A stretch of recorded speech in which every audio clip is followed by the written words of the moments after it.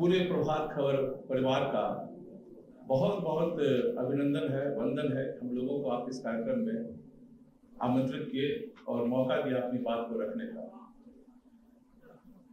अभी मैं सुन रहा था कि प्रभात खबर 90 में झारखंड में शुरू नाइनटीन एटी फोर में रांची में रहता था, मेरे पापा की पोस्टिंग थी। और उसी से मैं लॉन्च हुआ था प्रभात खबर। हम लोग के घर में रांची एक्सप्रेस आता था, वो एक अखबार और समझिए कि बड़ा जद्दोजहद होता था ये नए रूप में, नए कलेवर में, नई चीज़ों के साथ पेपर लॉन्च हुआ था। और ये प्रभात खबर घर में आए और हम उसको पढ़ सके, इसके लिए भी घर में थोड़ा हम लोग का पिताजी के साथ तकरार होता था। पर मालूम नहीं था कि एक दिन रांची से निकलने के बाद इधर उधर आने पटना में आकर इस मंच पर आपके साथ खड़ा होने का सौभाग्य मिलेगा। बहुत बहुत धन्यवाद सर। यहाँ हम लोग को आमंत्रित करने के लिए और ये मंच उपलब्ध कराने के लिए। अभी कुछ दिनों पहले यूनियन बैंक ऑफ़ इंडिया ने अपने कॉर्पोरेट सोशल रिस्पॉन्सिबिलिटी के तहत पटना के मेधावी छात्रों का अधिकांश स्कूल से बच्चों को आमंत्रित किया गया था, जो क्विज कंपटीशन में भाग ले और बिहार का प्रतिनिधित्व करें। बॉम्बे में जहाँ ऑल इंडिया क्विज कंटेस्ट होगा, यूनियन बैंक का एक एक प्रयास है। और उसमें हम लोगों ने अपने उद्योग मंत्री महोदय को बुलाया था उस कार्यक्रम में।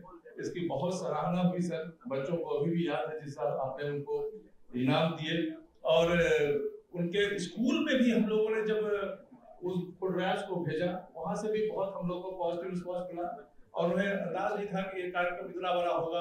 आप उसे करके बच्चों का मनोबल बढ़ाएँगे।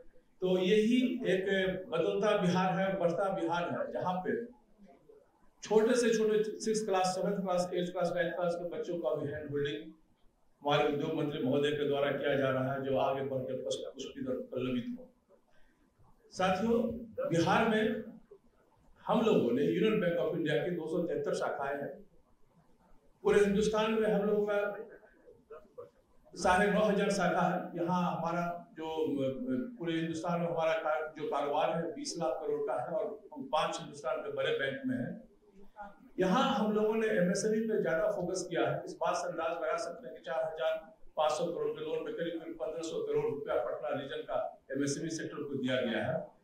और इस सब में बढ़कर एक हम लोगों का फ्लैगशिप प्रोग्राम है, जिसमें नारी शक्ति के रूप में एक अप्रैल से लेकर अभी तक करीब ग्यारह महिलाओं को लोन दिया गया है, और अमाउंट जो है चौहत्तर करोड़।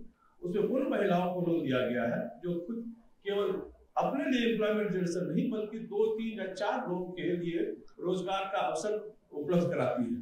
ये बहुत ही सक्सेसफुल रहा, और इसमें मॉर्टिलिटी रेट कुछ भी नहीं है। इससे इस बात को बड़ा बल मिलता है कि क्रेडिट का प्रवाह जितना ज़्यादा इस राज्य में होगा, जितना ज़्यादा इस राज्य के ज़रूरत मंद इंटरप्रेन्योर हो, वो पुरुष हो या महिला हो, उनके बीच में जाएगा तो राज्य की न केवल अर्थव्यवस्था विकसित होगी, बल्कि यहाँ रोज़गार के अवसर मिलेंगे। जो चर्चा हो कि पलायन को रोका जाएगा, और ये बिहार एक विकसित राज्य के रूप में बन ही चुका है और आगे बढ़ने की तैयारी में रहेगा। सिलिकॉन वैली में आए थे, बड़ा क्वेश्चन उन लोगों ने पूछा था कि क्या बिहार में जाएँगे तो सुरक्षित रहेंगे, ये हमारे लिए किस तरह का व्यवस्था होगा यहाँ इससे आप सोच सकते हैं कि यहाँ बिहार से बाहर तो हम लोग चले जाते हैं, पर बिहार हमारे अंदर से बाहर कभी नहीं जाता है और हमेशा हमारी इच्छा होती है, ऐसे कार्यक्रम में आए, ऐसे लोगों के बीच में आए, अपने राज्य के में उद्यम लगाने के लिए लोगों को प्रोत्साहित करें। और जब मैंने ये सुना सर तो मैं दिल्ली से पटना मेरी पोस्टिंग भी है। सामने इंटरनेशनल करके लेदर इंडस्ट्री है नोएडा हम लोग के साथ कारोबार है। जी जी हम लोग रिक्वेस्ट कर बोला हाँ हम लोग ने पंडोल में शुरू किया। तो आप सोच सकते हैं ट्विटर पर न्यूज़ पढ़ने के बाद मैगजीन में ये पेपर न्यूज़ पढ़ने के बाद किस तरह से इस इन एक्टिविटीज़ को आगे बढ़ाना चाहते हैं?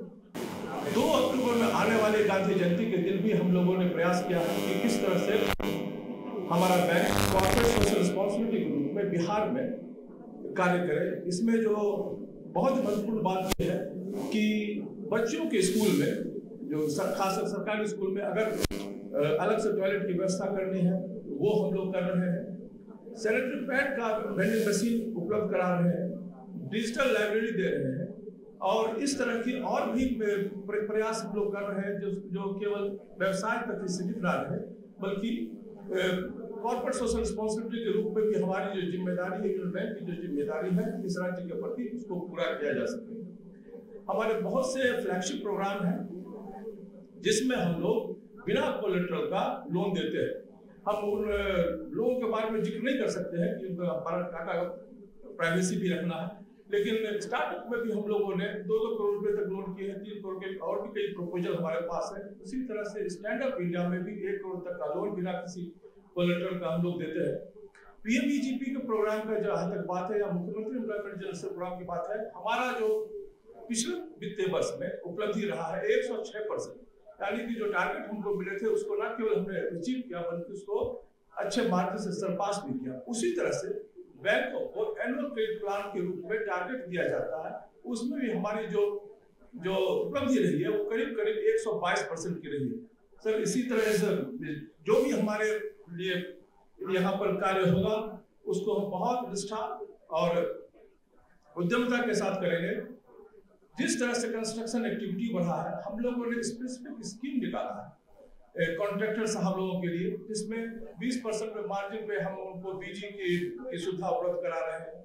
उसी तरह से इक्विपमेंट फाइनेंस करने के लिए बहुत से रोड कंस्ट्रक्शन का कार्य हो रहा है या बिल्डिंग कंस्ट्रक्शन का हो रहा है या माइनिंग का काम हो रहा है वहाँ पे इक्विपमेंट के लिए भी हम लोग किसी भी तरह का कोलेट्रल आपसे नहीं मांगते उसी तरह से यूनियन सोलर स्कीम है जिसमें सोलर लाइट आपको लगाते हैं आठ करोड़ रुपए तक अगर सोलर लाइट लगाते हैं तो उसमें कोई कोलेट्रल की आवश्यकता नहीं है। अगर आठ करोड़ से ऊपर लगाते हैं तो फिफ्टी परसेंट कोलेट्रल हम लोग उसमें आपसे आग्रह करते हैं। डॉक्टर साहब लोगों के लिए जो यूनियन आयुष्मान स्कीम है, कोई भी आप मेडिकल इक्विपमेंट लेते हैं, उसमें भी हम लोग कोई किसी भी तरह का कोलेट्रल आपसे डिमांड नहीं करते हैं। और मुझे उम्मीद है कि हमारे बैंकिंग सुविधाओं का बैंकिंग प्रोडक्ट का आप लाभ उठाएँगे और बढ़ते बिहार, बदलते बिहार और मुस्कुराते बिहार में अपना सहयोग हमारे साथ मिलकर देंगे। बहुत बहुत धन्यवाद। प्रभात खबर डॉट कॉम विश्वास वही, रफ्तार नहीं